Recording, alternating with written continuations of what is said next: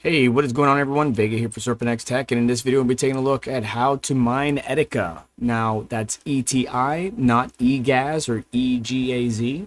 If you want to mine EGAZ, it's basically an Etchash algorithm. We're going to be focusing on the SHA-3 Solidity algorithm, or ETI currency, and we're going to walk through how to do that. Now, hashrate.no is a great tool to find out what you probably should be using for your GPU as far as benchmarks. They got all the AMD and NVIDIA GPUs, and you can just find your selected GPU and see what the core offset, uh, the core lock, and MEM should be. This is a very core intensive algorithm. So uh, if you have those presets already configured on your Windows or uh, even your Hive OS, uh, just go ahead and use that configuration. It should be just fine. I will have links down in the description to help you out. Uh, like for where to get the wallet and stuff like that. But I'm just using the uh, Windows version. Um, you can build it yourself if you really wanted to. I'll have this link down below. But if we scroll on down, I just downloaded the Windows Etica wallet 1.0.7. Updates keep on coming. And the wallet is very simple, very plain Jane, nothing too crazy. I will say, just like it is with every other wallet out there, once you download this uh, you know file and, and uh, basically extract it you're going to go to that folder and double click the Etica wallet app. And then when you get this loaded up, it's going to walk you through the process of setting up your wallet. You can either import or create. Just create a new one if you don't have one already. You're going to be presented with a seed phrase, back that up securely in a safe place. You're going to still need that seed phrase because it's going to require you to put it in, uh, you know, with the first word, second word, third word, go all the way through that. And then type in a password of your choice to protect yourself and then let that bad boy sync up. Once you're here, You'll see your public address. You could just select your public address and you need that for either the flight sheet or the Windows miner. Now the Windows miner is the Solidity SHA-3 Miner Etica. It's actually from the team itself. Uh, you want to identify the pool you want to mine on. There's not a lot of pools out there right now, uh, but I do plan uh, for some updates to come your way. Uh, stay tuned. Just all that's all I'm gonna say on it. But you just choose the best pool for your setup, your configuration, your area. We got a US base pool, uh, OX pool.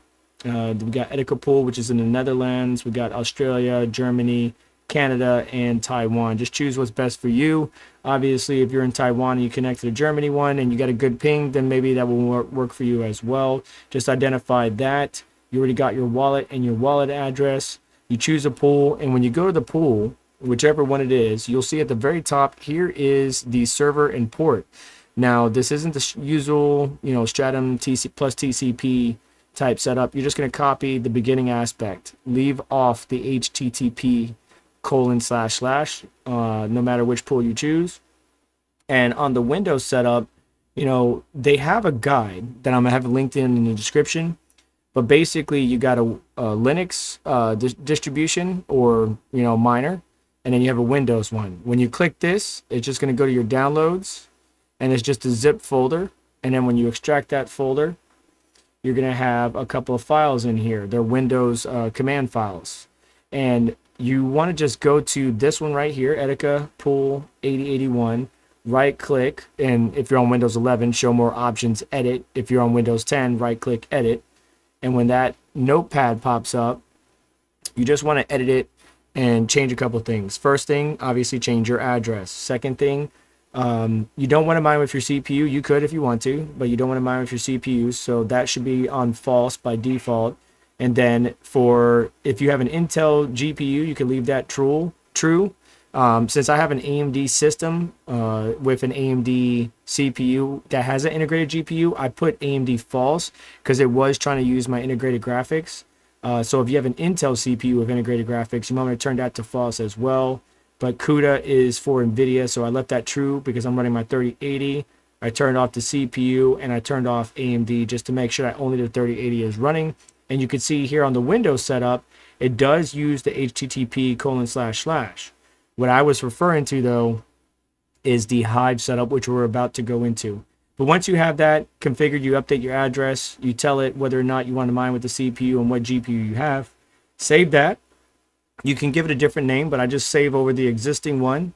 And then let's go ahead and uh, scroll on down. You'll see the miner right here. And you can see that I also have OX pool as well set up. It's basically the same, a little bit of differences. Um, but with this particular miner, again, just update your address, change the pool to the correct server slash port, and then change whether or not you're going to mine with your CPU or just GPU only. Once you have all that set, you just double click the Windows file and the miner will load up. This is what the miner looks like. I'm bringing it over to you right now. And nothing too crazy, plain Jane, but you can log into your local host uh, via the IP address, uh, you know, 127.0.0.1 colon 478 and or 4078 and if we refresh it what you'll see is the numbers will change right? So the latency number will change uh, the number of accepted shares rejected shares will change and the hash rate will change. So that's where we're sitting right now.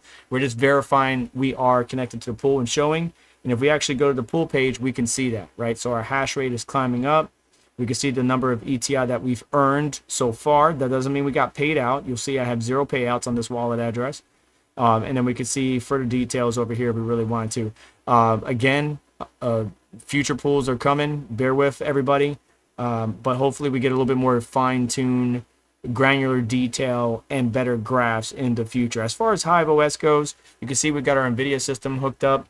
I, I do like to use the Solidity miner on my Windows system, and then when I'm when I'm using Hiveon, I'm using TT miner.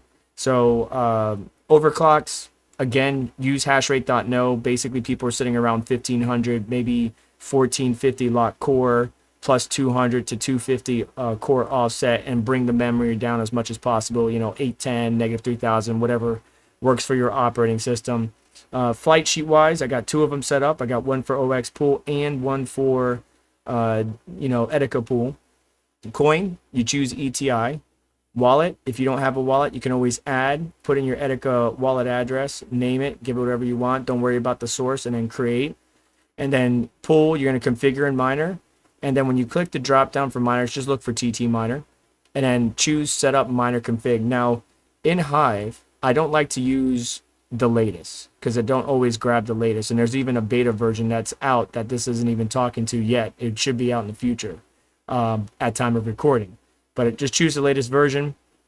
And then the wallet, some people are doing one of two things. They're either doing uh, the wallet or the actual like address, the actual wallet address. So either the wallet command or the address for Etica pool, but for 0x pool or OX pool, you want the wallet.worker. So you would come over here to this I and you click that right there and that will work just fine. But for Etica pool, do not put the worker name, just FYI. And then again, removing the HTTP uh, colon slash slash, we have the server and port that works. Take away the X and password. And then because we're using TT miner, we want to tell it that we're we want to focus on ETI. It should automatically, it was working when I didn't use this extra config argument. Um, but you know, if you wanted to, you can do that. Now, TT Miner has a bunch of other commands. If you want to lock the core, the offset, and the power limit, here are the commands right here. We could just copy that over into uh, um, the extra config arguments. And now our GPUs will be locked at that core clock, at that offset, and at that po power limit. But not all my GPUs are going to be in that range. So we're going to take that off right there. And you do what's best for you. And then you just apply changes give it a name, and then update or save, and you're good to go. Just a real quick interruption. Just wanted to show you this. I switched back over to the Solidity Miner. Here is my flight sheet, or here's how I have it configured, but this is pinned in the Etica uh, mining channels uh, uh, messages, so pinned messages, check it out. But there is the setup and configuration. The only extra config arguments I have is the override command. Don't forget the double dash when it comes to Hive. Um, and then HTTP does get applied on the pool if you're going to be using the Solidity miner. If you're going to be using TT, that HTTP needs to go, okay? Uh, also, as I mentioned, don't use the worker name if you're on Etica pool, but use it if you're on OX pool. And just tune your GPUs accordingly. You can use uh, base commands to do it, but I'm just doing it through Hive when I'm using the Solidity miner. And then with TT miner, you can do it with the extra config arguments as well and just use the overclocks or similar overclocks to what you see or already have that you might have complied from hashrate.no.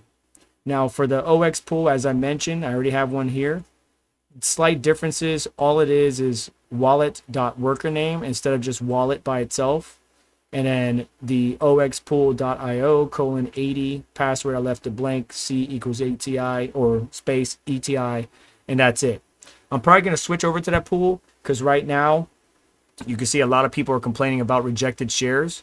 And if we look at my miner in Hive, uh, we are getting a lot of rejected shares. We got 13 accepted, 11 rejected.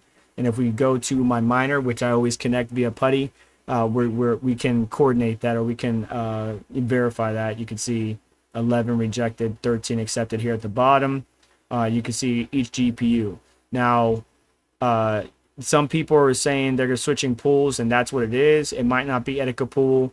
It could be a number of different things. You might even bump into an error uh, where you might be getting the kernel error. Make sure you update your NVIDIA drivers, uh, especially if you haven't turned on your Hiveon system in a while. I'm on NVIDIA driver 525.125.06. Just make sure you have your drivers up to date. Make sure you don't have your overclocks too high or, or that it's applying the wrong overclock. Um, you know, there might be some kernel errors. But come over into the Discord, the Etica Discord, the mining channel. Really good people in here sharing information with one another, trying to help out. Uh, on a Windows uh, system, uh, I would, er, I don't know how to say this uh, elegantly. TT Miner threw up some red flags that I didn't quite like. Uh, I already advised the dev. Um, it could be a lot of false positives, but there are some concerning aspects of TT Miner. Not even the late, not just the latest version, but version, uh, you know, this one right here as well. Uh, I think it just needs, you know, some code cleanup, some some kernel cleanup, some binary cleanup. But uh, there was an audit that I did. I haven't published it yet, um, and I just want to avoid it on my Windows system. I don't mind using TT Miner on my Hive or my Linux-based system, but for Windows, I'm using the Solidity Miner. Uh, and if you were using TT Miner on a Windows-based system, you can basically use this configuration right here, where it's TT Miner, you know, log pool, log luck, right? And this is for OX pool, I believe. Uh, no, it's actually for Etica pool.